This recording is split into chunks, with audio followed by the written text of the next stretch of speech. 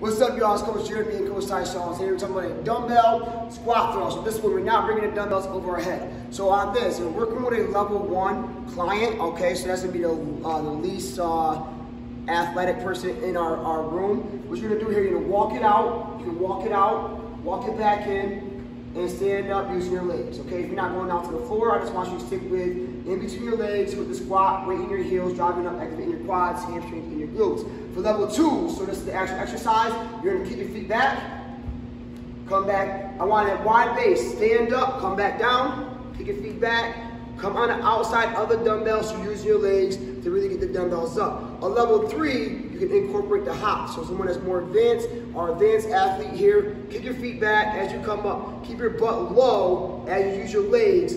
Hop it up, come right back down to that floor. That's what you got for your dumbbell squat thrust. Good luck.